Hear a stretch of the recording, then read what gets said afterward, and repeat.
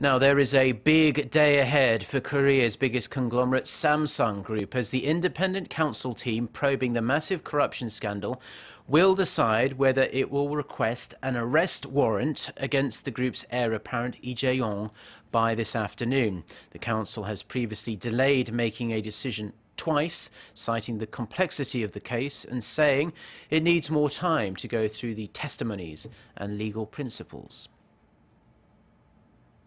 As you all know, considering the gravity of the case and looking over the files, the date to announce a decision has been pushed back from the original date, which was Friday. Now, pundits say the delay comes as the independent counsel team must be concerned about the arrest warrant being rejected. That would deal a blow to its overall investigation into the scandal centering around the president and the country's major business groups. The impact the arrest could have on the economy is also likely to be under consideration.